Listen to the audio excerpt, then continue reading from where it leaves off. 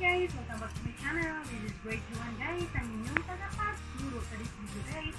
Samahan niyo ako sa pagluto ng stick with butter. Ayan guys. Please watch this.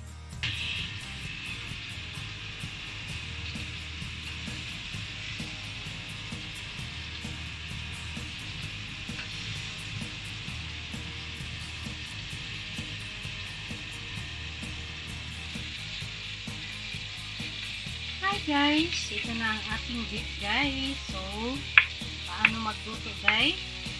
Ayan guys. May pangtusok ako guys para talaga yung pangtimpla niya guys. Tumitip talaga sa loob ng sa ilalim niya. Ayan.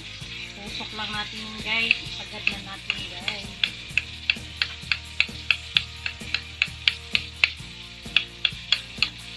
Tutukin ko siya guys.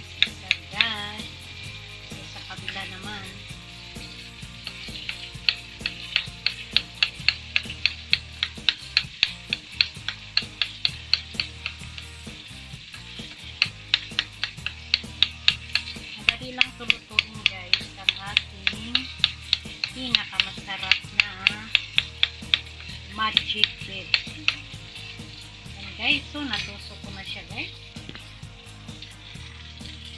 Yan guys, mag-ready tayo ng 1 spoon of salt, a little bit of chicken powder, and a little bit of pepper, and 1 cube of butter.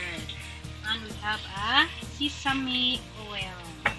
So now guys, let's start.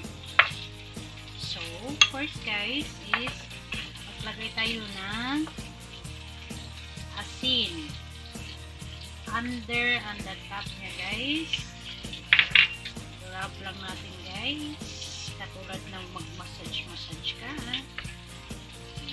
budo lang to siya guys. Tapos guys ayun nalagay ko na ang 1 spoon salt kabila o kanan kanan o paharap o patalikod. Tusok din na natin. Yan siya guys. Yung pepper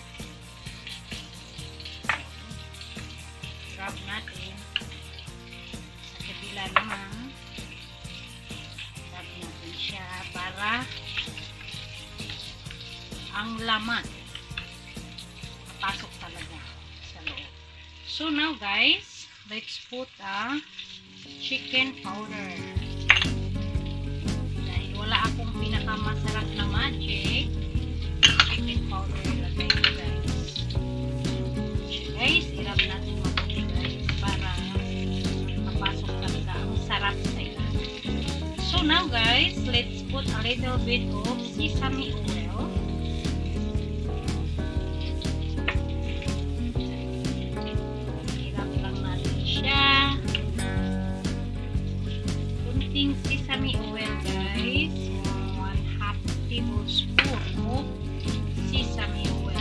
siya guys. So natapos ko na siyang nilagyan ng pantimpla. Simple lang siya guys. Pero dali lang siya lutuin guys. Cook within 10 minutes so. Guys set aside muna natin siya ng 10 to 15 minutes guys bago natin siya i fry ng butter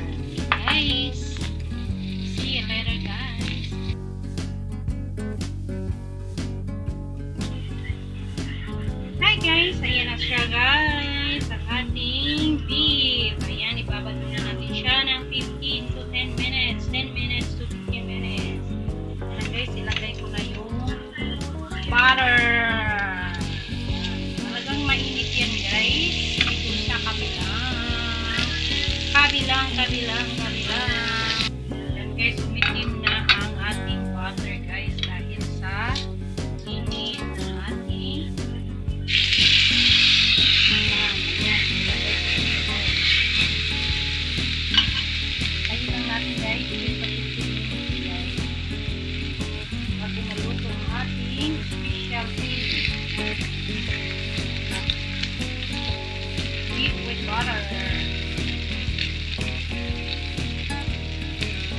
guys, lumabas na ang kanyang pula-pula sa kailangan guys. Ating yum yummy here. Lutong simple, lutong bakal, luto ng.